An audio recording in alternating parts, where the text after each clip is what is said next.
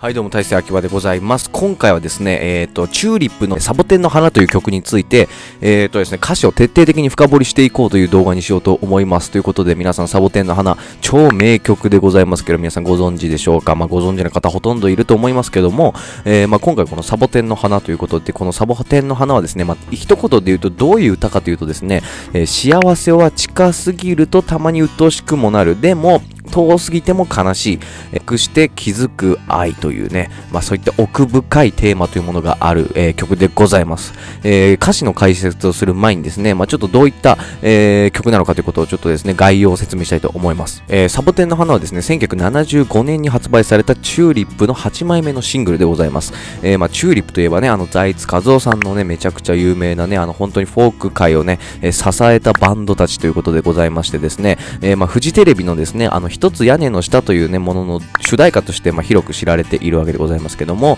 えー、まあ、その発売当時というよりかは、えー、発売から18年が経った1993年にリバイバルとしてヒットしたわけでございます。はい。まあ、でもね、その当時、1975年もオリコンでもね、トップ20にはね、ランクインしてるということでね、まあね、そのやっぱ世代を問わず売れてる曲というような感じでございますけども、まあ、もともとね、あの、まあ、その、作ってた、えー、サボテンの花なんですけども、えー、サボテンの花がですね、えー、まあ、このドラマで使われるときはですね、あの、サボテンの花、そのチューリップのオリジナルのサボテンの花として使われたわけではなくてですね、えー、まあ、その、財津和夫さんがソロ名義でリメイクしたサボテンの花、一つ屋根の下よりというね、ものが主題歌として起用されているわけでございます。はい。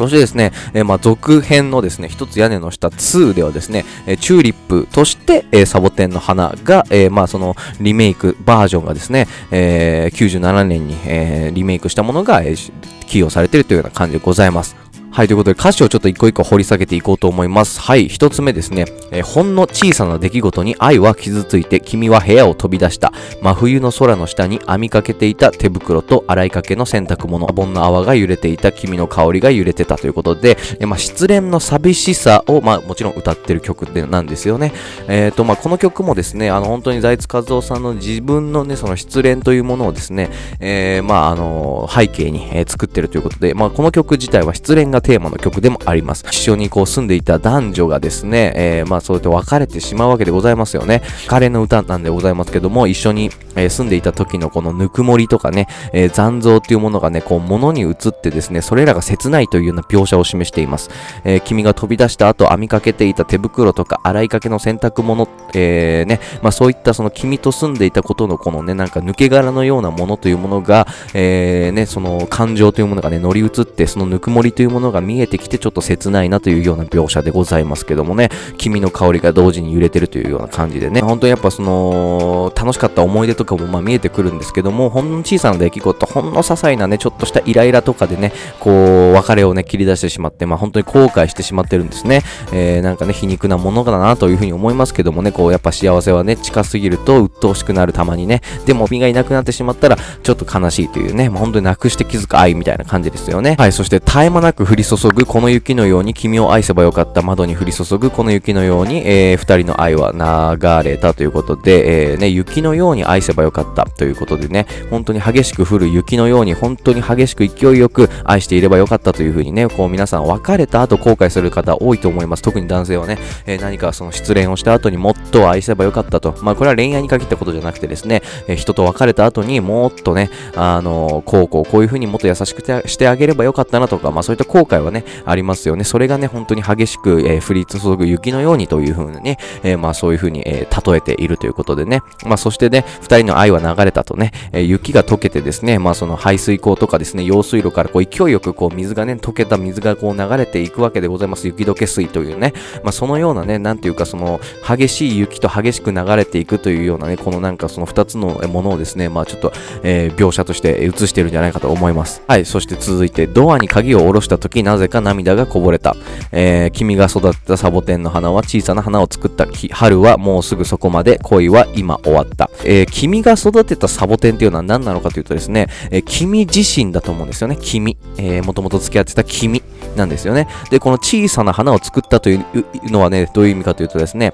えー、君は小さな幸せを見つけたということなんですよね、えー、君がいなくなった後君の育てていたサボテンがねなんかその花も咲かない間はすごい悲しく見えた。それは2人の、えー、終わりがね表しているように僕も寂しいし、あの子も寂しかった、君も寂しかった。だけどサボテンが小さな花をつけたと。っていうのはですね、まあ本当に君がね、小さな幸せを見つけた、どこか知らない場所で、まあその小さな幸せというのはですね、まあ他の誰かと出会ったのか、また他の人と恋に落ちたのか分かりませんけどもね、えー、まあ本当に君は僕から旅立ってしまったということを表してるんじゃないかというふうに思います。まあということはね、本当に僕と君の恋は終わってしまったということでね、続いてこの長い冬が終わるまでに何かを見つけて生きよう、何かを信じて生きていこう、えー、この冬が終わるまでということで、えー、ね、君が小さな幸せを見つけたと、君はもう新たに一歩成長したんだと。でね、もうすぐ春が近いと。春にはね、僕もね、君と同じように、え幸せな花を咲かせたい。まあ、花を咲かせたいイコール幸せになりたいということでございますけども、だからまず信じることから始めようということをね、言ってるんじゃないかと思います。何かを見つけて信じて生きようと。君と別れたと。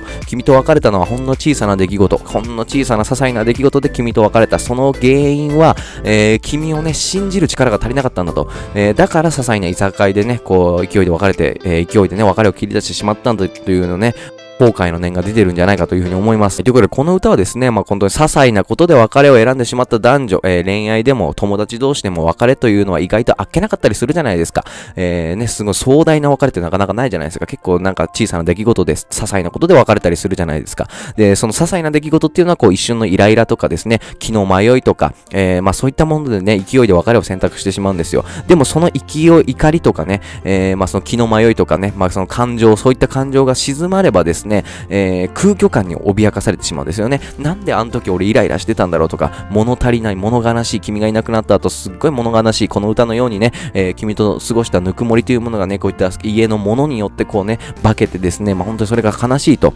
で、物足りないんだと。で、失ってからわかる、本当の大切さというようなね、言葉がよくあるじゃないですか。失ってから大切さがよくわかるみたいなことよく言うじゃないですか。まあ本当にその通りでですね、まあ恋愛だけじゃなくて、こうね、なんていうかこう家がね、実家が嫌で飛び出してきて、東京にね、上京してきて、で、一人暮らしするようになってようやく親のありがたさがわかるとか、えー、親がより愛おしくなったりとかね、遠く離れているから、えー、本当に愛おしく逆に思えてしまうみたいなね、ビートルズの In My Life なんかもね、遠くなってしまった今だからこそ、より一層あの頃より好きだというふうに言ってますけども、まあそういったことがね、この曲にもね、描かれてるんじゃないのかなというふうに思います。ということでですね、なんというか、まあこの曲は本当にそういった人間の心理を歌ってる曲なんじゃないかというふうに思いますけども、最初に戻りますけども、幸せは近すぎるとちょっとね、鬱陶しくなったり、えー、些細なイライラとかね、えー、なんかちょっと傲慢になったりするんですけども、やっぱいなくなってしまった時にはすごい悲しいと。まあそういったことがね、その人間性が現れてる曲じゃないかというふうに思いますので、ぜひこれじっくりですね、皆さんなりの歌詞の解釈で、えー、まあ聞いてみてはいかがでしょうかということで以上でございます。ありがとうございました。